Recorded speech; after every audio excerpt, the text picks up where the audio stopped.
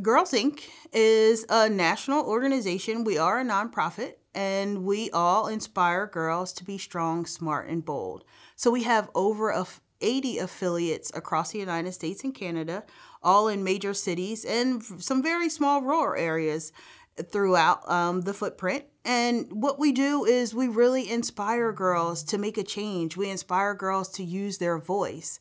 We inspire girls to to live above the norms and to live outside of the box. And Girls Inc. has really they're shaping and they're changing these girls into successful leaders that we need to lead this country forward.